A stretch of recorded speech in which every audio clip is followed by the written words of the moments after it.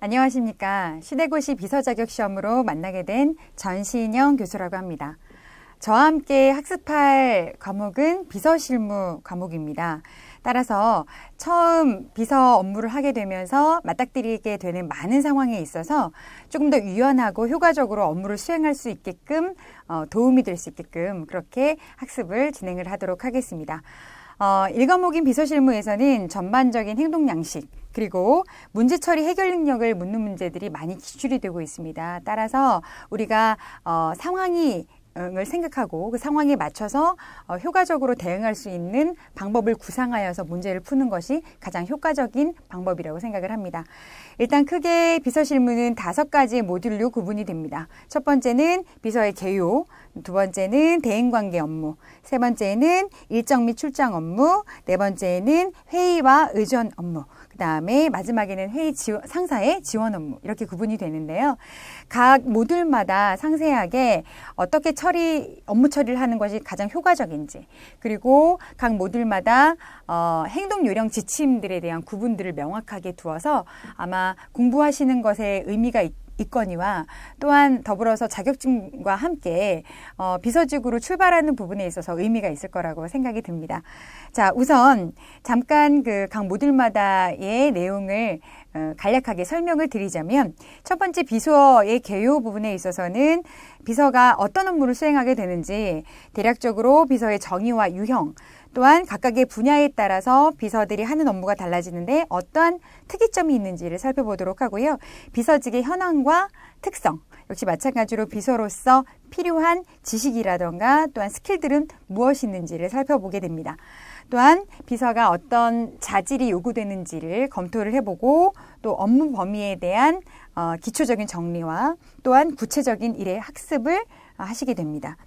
일종의 스킬만 있다고 해서 이 비서 업무를 수행하는 것이 아니기 때문에 보통 인간으로서의 기본적인 태도, 기본적인 어, 관계 부분에 있어의 커뮤니케이션 또는 소양이 중요한 직무이므로 이 모듈에서는 자기관리 영역 또한 포함이 됩니다.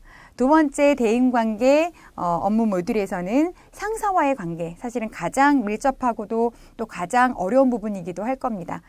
어, 또 그 이외에 또 후배와의 관계, 선배와의 관계, 직장 내 조직 안에서의 타부서 직원들과의 관계, 또 다른 임원들과의 상관관계, 역시 조직 내 많은 인간관계들, 이외에 우리는 또 사회에 많은 VIP 인사들을 모시는 업무를 하기 때문에 전반적인 상사의 유형, 사람의 유형에 따른 분류, 업무 처리의 방향에 따른 학습을 하시게 됩니다.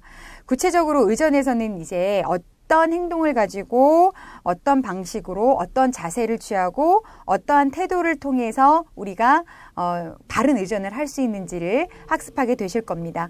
여기에서는 전화응대법, 내방객 응대법, 인사, 또 명함, 악수, 뭐 소개하는 요령 이런 모든 것들이 다 포함이 되겠습니다. 그래서 어, 이후로 또 추가적으로 갈등 관리법까지 함께 학습을 함으로써 전체적으로 비서로서 가장 중요한 원활한 대인 관계 의 방법 외에는 어떤 것이 있는지 구분해서 공부를 하시게 됩니다. 자, 세 번째로는 일정 및 출장 업무에 해당되는 부분인데요. 상사의 모든 전반적인 스케줄을 담당하는 비서로서는 매우 중요한 영역이라고 할 수 있겠죠. 어, 일정을 조정하고 소화하고 관리함에 따른 유의점과 중요점을 학습하게 되실 거고요. 자, 예약 업무, 출장 업무, 회의 업무, 그리고 보고 및 지시 업무 등을 통해서 실전에서 가능하면 더욱더 효과적으로 접근할 수 있게끔 학습을 도와드립니다.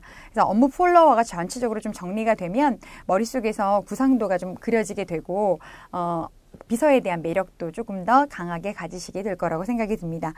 그리고 네 번째는 회의 의전 관리 부분입니다. 다양한 기업의 소통 방법인 회의, 그리고 의전을 통한 특수 지원 업무, 환송, 배웅, 영접 이런 모든 것들부터 시작해서 일반적인 비즈니스 매너와 에티켓 그리고 국가별 간의 어떤 관습에 따른 행태 음, 이런 부분을 통해서 우리가 중요성을 인식하고 세부적으로는 파티 매너, 레스토랑 매너, 식사 매너 이런 모든 부분들까지가 다 포함이 되는 의전 부분이라고 할 수가 있겠습니다.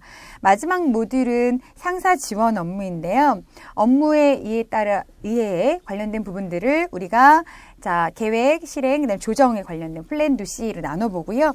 살, 그런 부분 안에서 구체적으로 우리가 업무를 명확하게 잘 수행하기 위해서 필요한 요소들을 자, 지시받는 부분에서 또는 명확하게 잘 또 보고하는 부분에서는 어떻게 예, 해야 하는지에 대한 행동 지침을 함께 살펴보게 됩니다.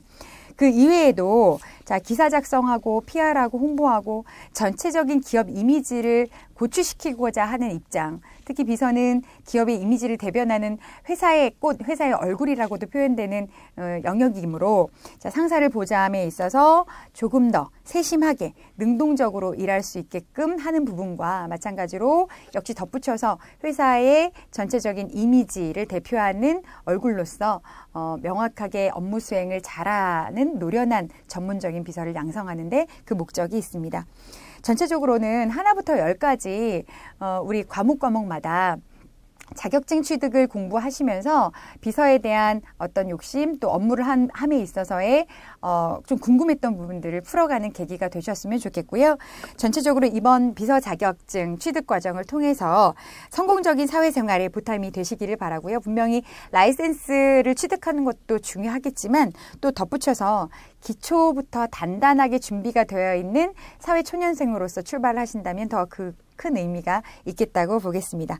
자, 이 모쪼록 이 비서 자격증이 새롭게 출발하시는 여러분들께 아주 좋은 계기가 되기를 바라면서 저는 수업 때 뵙도록 하겠습니다.